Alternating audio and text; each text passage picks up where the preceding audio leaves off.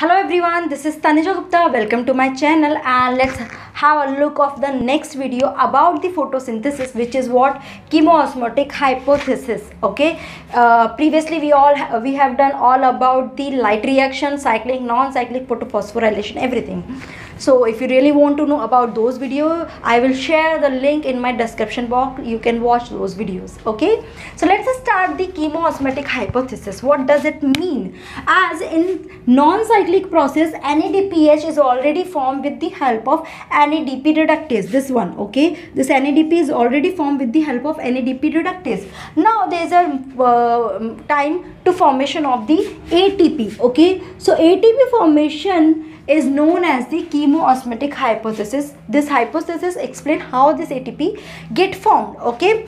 So first of all, uh, this is the structure of a thylakoid. Okay, I'll show you. This is the grana. I told you already. So what happened? This is the thylakoid membrane, and I have taken this one part. This is the enlarged view of this single part of thylakoid. Okay. So outside of it, what is the stroma is present. Okay this is the thylakoid membrane. This portion is the thylakoid membrane. I'll write here thylakoid membrane. Okay? And the inner portion this inner portion is the lumen. Okay? So this is how i'm explaining uh, a thylakoid membrane structure. Now what happened? Why this atp get formed? Because of the formation of one thing that is called the proton gradient proton gradient. Now what does it mean? See proton means what? Hydrogen ion. And gradient i told you gradient means what? There is a uh, sequential distribution of hydrogen ion means what? Gradually it, it is it is getting reduced or gradually it is getting increased okay? This is called the gradient. I mean uh, first higher amount then lesser lesser lesser lesser like this or first the low amount then higher higher higher okay? This is called the gradient. Fine? So because of the formation of gradient proton gradient the uh, gradient has to be maintained okay? It is i mean uh, we cannot leave the cell like this like in one portion hydrogen ion concentration is very much high and in one uh, uh, side the concentration is very much low we have to maintain this equilibrium and while maintaining this equilibrium atp formation occur okay so uh, with the help of us uh, complex which is called the ATP synthase. So let's have a look why this proton gradient formed okay. Actually this proton gradient form in the lumen region okay? And this thylakoid membrane non-cyclic process is taking place right? Okay? As you know in non-cyclic photosystem second it start from photosystem second goes to pheophytin plastoquinone then cytochrome b6f plastocyanin photosystem 1 then goes to frs fd ferredoxin and ultimately it form the nadph okay now for photosystem second again because electron doesn't get back to the photosystem second so this electron is taken from the hydrogen molecule due to the splitting of this hydrogen molecule. This hydrogen molecule or this complex is attached with this photosystem on the inner side on the inner side of this thylakoid membrane. Means what? It is getting attached over here. Okay over here it is getting attached. So what happened? It gives the electron to the photosystem second but it also release hydrogen ion and oxygen. This oxygen is released outside the cell but this hydrogen ion is remain inside this lumen. So there are so much hydrogen ion get released inside the lumen. Okay so uh, first uh, reason is of because of the splitting of water. Splitting of water. Okay? Now the second reason why the gradient proton gradient form inside the lumen. See plastoquinone it take the electron. Now this plastoquinone get reduced into the pqh2 okay so for this the hydrogen is taken off from the stromal region. From the stromal region hydrogen is taken inside and plastoquinone is getting reduced clear. Now when it again release the electron this hydrogen has to be removed. Then only it will release the electron and this hydrogen is removed inside the lumen.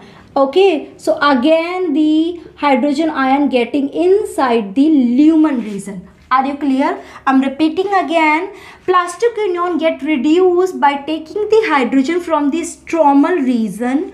Okay? It get reduced again it release the electron to their next uh, cytochrome and this hydrogen is released inside this lumen okay? So second reason is because of the plastoquinone okay? It release the hydrogen ion into the lumen. Clear?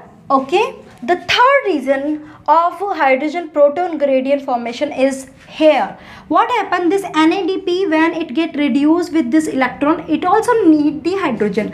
And this hydrogen again also taken from the stromal region. From the stroma this hydrogen is taken and it get reduced. But here there's no hydrogen is coming inside. Yes of course. But what happened? Because they are taking the hydrogen from the stromal region. This also taking the hydrogen from the stromal region. So what happened in the stroma region? There is a very less hydrogen concentration because they both are taking continuously hydrogen from the stromal region. And hydrogen is getting collected in the lumen region okay? And the hydrogen getting released or collected into the lumen region. Clear? Right? So this is how the third reason due to the NADP get converted into NADPH okay NADPH with the help of NADP reductase so this hydrogen is taken from the stromal region. So, so there is a very less quantity of hydrogen ion in the stromal region. So these are the three reasons by which the proton gradient formation occur. Now proton gradient has been formed right? Okay?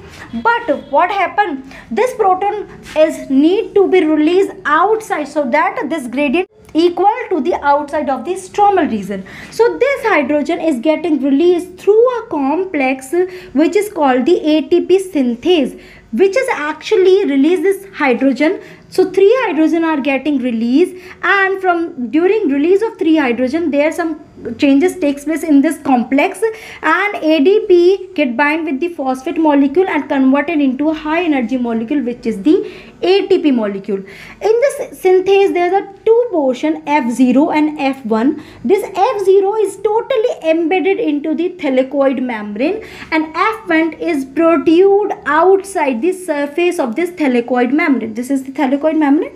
It's protrude outside the surface of the thylakoid membrane and it release the ATP molecule okay so this is how this ATP formation occur I hope this video is clear to all of you uh, any doubt you can post your query in the comment box. And if you want any particular topic then you can uh, also post in your comment box. I will uh, prioritize those topic. And uh, if you like this video please hit the like button and subscribe my channel. And thank you so much for watching this video